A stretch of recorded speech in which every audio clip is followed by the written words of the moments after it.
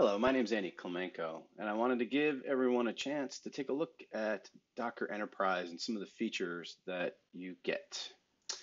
Um, logging into Docker Enterprise, you start off with a dashboard with metrics. This really is meant to be more of as, a, as an executive overview that allows you to kind of quickly see, do you have any errors going on in the system?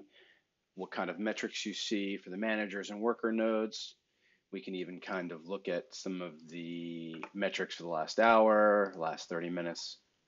But again, really this is kind of meant to be more of a, an overview executive dashboard than it would be to replace your monitoring system. Still rely on, on your internal monitoring systems. A couple things I want to highlight here are the fact that out of the box, Universal Control Plane and Docker Trusted Registry, those are components of Docker Enterprise. They come with self-signed cert we really do believe in the mantra secure by default. Those self-signed certs really do help with that. Uh, you can obviously go into the admin settings and you can replace certificates with officially signed ones at any point in time. Just kind of improving security a little bit, keeping it internal to your organization. A couple of the things I want to point out here is authentication and authorization. We are fully LDAP AD enabled and SAML enabled. We can use external providers to provide uh, those usernames and passwords. A couple of things here to take a look at in terms of authentication are the fact that I can go into my profile and I can generate what's called a client bundle. So along the same lines in terms of authentication and authorization, these client bundles are X509 certificates. This allows me to use a file on a file system to authenticate for either the CLI or the API. It's very nice. That way I don't have to pass passwords back and forth. These X509 certificates will act as my entry point. Kind of a moving along. As you can see, we've got a lot of options here. When you configure LDAP and AD, you do have the option to create organizations and teams based off of LDAP groups or AD groups. And this gives you a lot of power to, to not have to manage these users independently. However, if you don't want to manage them through LDAP and AD, we do have an internal database that you can use. And I've created a bunch of dummy accounts right here. And with those dummy accounts or LDAP and AD, you can go into roles and grants and you can assign RBAC permissions with a very fine grained control to any user being able to do anything on the system. Notice at the top both Kubernetes and Swarm the RBAC for Swarm and Kubernetes is managed independently, and it does actually give you some, some opportunity to have a single pane of glass and provide both Kubernetes and Swarm resources to your end users.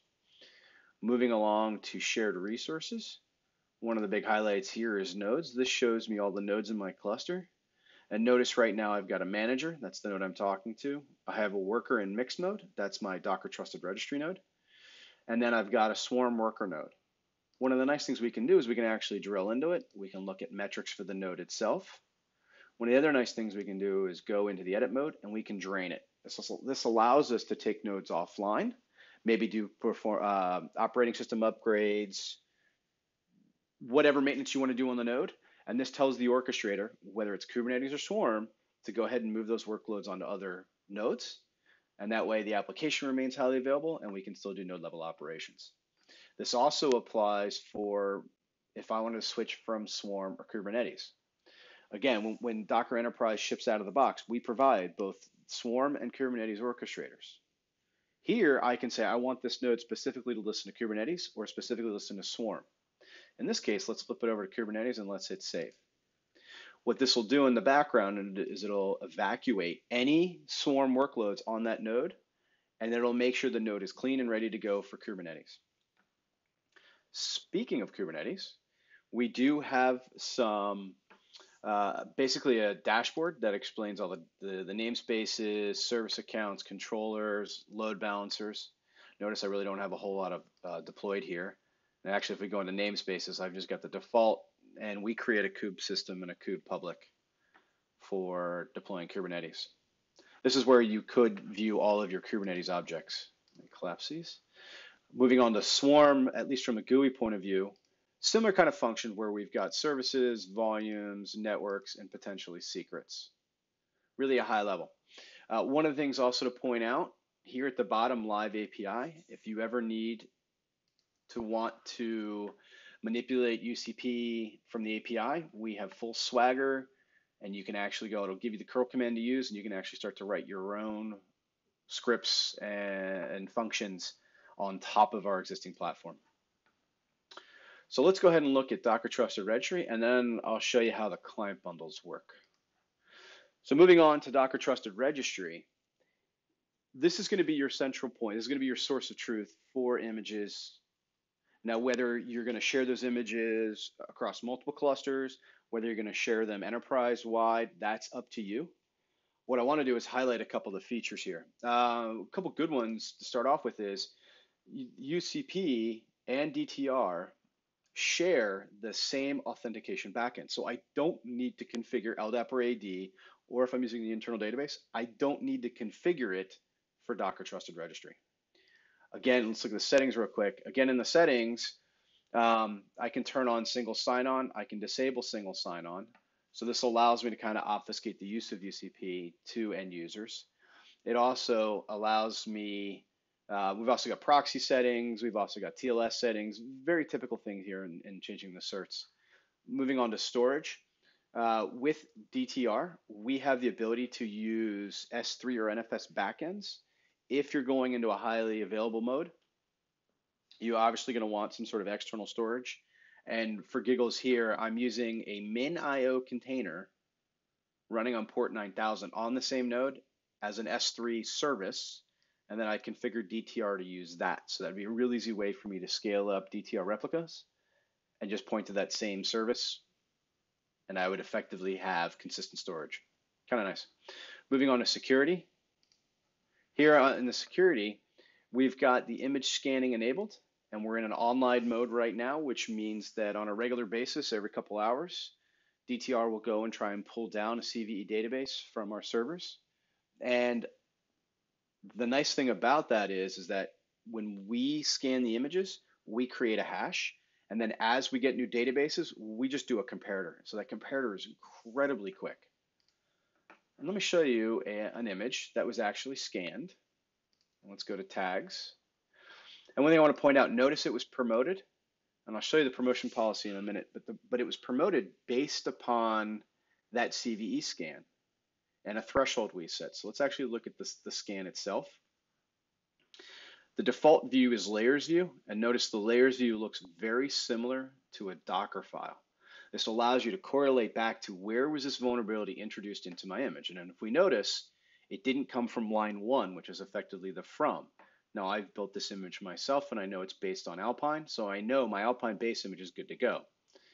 Line six, if we go look at it, we can see that it's doing an APK update, APK add. So I'm adding components to the image. In this case, I have three components that are that have vulnerabilities. And I could click into each component. What I actually like doing is clicking on the components view. Now this gives me a little better view of what's going on in terms of just from the components there. The other nice thing about it is I can click on curl or any one of them and notice I'm getting the CVE list here, the CVE link. This link will take you to MITRE's website and actually allow me to start to cross-reference, is this a false positive? Is this an actual issue? Well, let's assume this isn't an issue. How would I go and mitigate it? Well, if it's a false positive, I can actually go in to show layers affected and click hide. So notice at the top it says one critical, one major, and then now it says one critical, one major, one hidden. Why is this valuable? Well, this is valuable because remember I told you about that promotion policy? So it's the target. We can go and actually look at it. And what I'm doing is I'm I'm pushing into a private repo my image. It should be pushed in from a CI system, Jenkins, uh, Jenkins, Circle, GitLab. There's a couple of a dozen different ways to, to push it in from a CI system. It goes into a private repo. It's private only to the CI system and admin. So no user, no developer could pull that image because we want that vulnerability scan. Once we get the scan, the promotion is triggered if it's got less than or equal to 10 critical vulnerabilities. Now, obviously, that threshold's really high, but the nice thing is, is that it allows me to set a threshold per image. So from a security standpoint of view, with risk mitigation is I can dial it up, I can dial it down depending on what it's doing, where it's going. And what and when this promotes, it's promoting to the admin. In this case, it was promoted to the Flask. Um, yeah, because we're looking at it from the target view versus the source view. So let's go ahead and cancel. And so when we look at the tags, we see it's got that promoted tag. A couple other features we have uh, for uh, DTR is webhooks. I can go and trigger webhooks. So when an action is performed, it can go trigger some other action within a CI system or some other system. Pruning. This is a fun one. This is relatively new. The pruning policy allows me to delete tags based on these criteria. My favorite one is last updated in 90 days. Okay. I love this one from a security standpoint of view because I want to make sure I want to make sure that that we only have the latest images available. In my mind, 90 days is is a is a great number because we should always be building new images, but I can completely understand if that's something like 180 or 360 depending upon your corporate policy. Looking at mirrors, this is another good one. We can set up a mirror. So the way to think about a, a promotion policy is it's it's within the same registry. A mirror allows me to mirror between registries. So here I could say push to a remote registry and it could be another Docker trusted registry, or it could be Hub. Now we can always reverse this and pull from Hub. This gives us a, this gives us the ability to really create a supply chain of multiple registries. My favorite uh, saying is no human should build or deploy code meant for production. And what this will allow me to do is move images in from a CI system into a non-prod environment, scan them for vulnerabilities, and then potentially mirror it to a production cluster. And the production cluster can only pull from its own registry. It gives me a lot of control, which is nice to see. Okay, so that's Docker Trusted Registry at a high level. Let's actually go into the uh, demonstrating the client bundle authentication because one of the questions we get is about well, Docker Enterprise is Swarm. No, it's not just Swarm. It's Swarm and Kubernetes. And then, and then the follow-up question is, what does that look like? Well, it looks like any other Kubernetes. But when we talked about the client bundle, and keep in mind I got a bunch of files here, the client bundle actually will generate, uh, provide the cert.pem, the key.pem, env.sh, which configures my shell, a kube YAML, it provides all those pieces I need to authenticate. So let's go ahead and source env.sh. And what it's done right now is it's gone and, and told my local Docker client, which is running on my Mac, hey, go talk to this cluster over there. So if I do a Docker node ls, now I'll see all the nodes in the cluster and I'm authenticated using my X509 cert and RBAC is still being applied to me. I could even do kubectl get nodes, and I'll see the same thing. I'm talking to, the first command was talking to the Swarm orchestrator. The second command was talking to the Kubernetes uh, orchestrator. So if I wanted to deploy Kubernetes, let's go and deploy Prometheus Grafana. This is a fun one. Apply f, and I'm doing everything in this directory.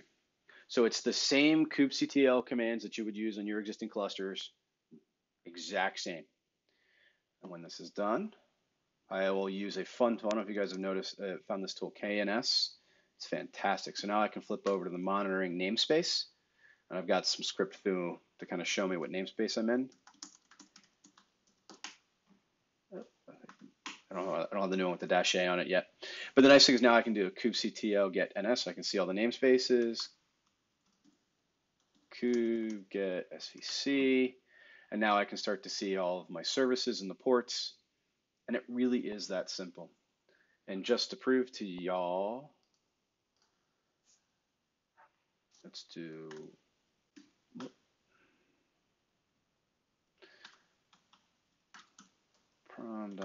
prom.docker.life. What was the port for Grafana?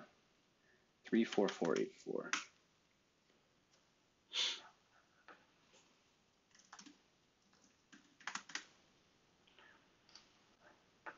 And here we go, logging into the Grafana I just deployed. And here's my cluster health.